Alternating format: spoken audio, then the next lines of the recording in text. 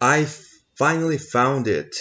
Yeah, this is a book by Mario Bunge, in Portuguese, Ciência e Desenvolvimento, Science and Development. It is not easy to find a book written by Mario Bunge in Brazil. I found this one in a used bookstore in my city. This was the only one available. I had other uh, books in mind, but I found this one, so I got it a couple of things about Mario Bunge. Let's see. He is an uh, Argentinian philosopher science and a physicist. He is retired now. He retired retired at age 90, so he's nine and he's 99 years old now.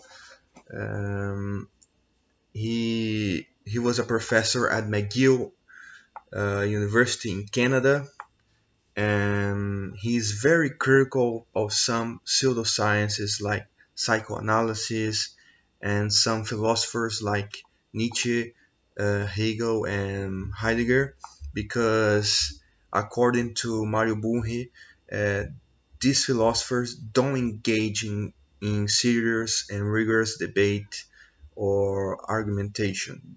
They don't provide uh, good reasons for grounding what they claim.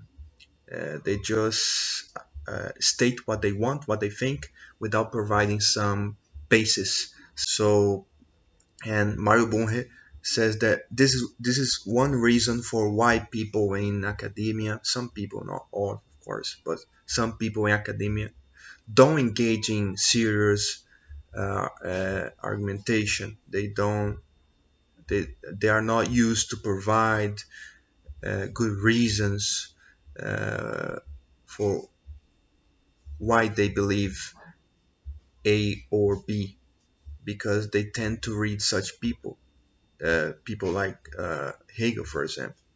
And also, he says that uh, uh, some some things that Hegel said just sound profound, but in fact they they are just meaningless quotes that don't mean anything, but they, for some people, they sound like profound. And and Mario Bunge uh, remind me reminds me a lot of Bertrand Russell. He's also Bertrand Russell is a very skeptical man. He was a very skeptical man, a British philosopher. I, I, I like him a lot also and he used to criticize religion and other dogmatisms for the, for the person who also uh, uh, criticized this kind of things things is Steven Pinker. I like him also. So that's it.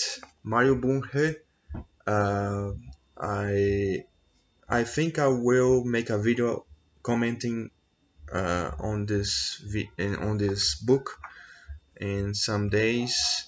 And if you like this content like philosophy of science science in general please subscribe to the channel like this video. I hope you have enjoyed okay? See you.